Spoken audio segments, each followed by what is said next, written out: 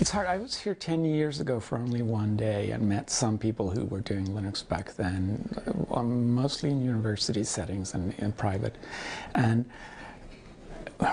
my advice to any developer, and this has nothing to do with Korea, is try to find something that you are personally excited about and that you want to fix and that you want to feel like you're the person in charge of not only fixing it but also maintaining it. Uh, right now in Korea we have a number of developers that work on the kernel.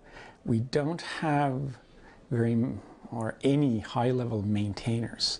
So I'm hoping that the people who are now developers will move into positions where they see themselves as not just writing code, but also as maintaining code long term.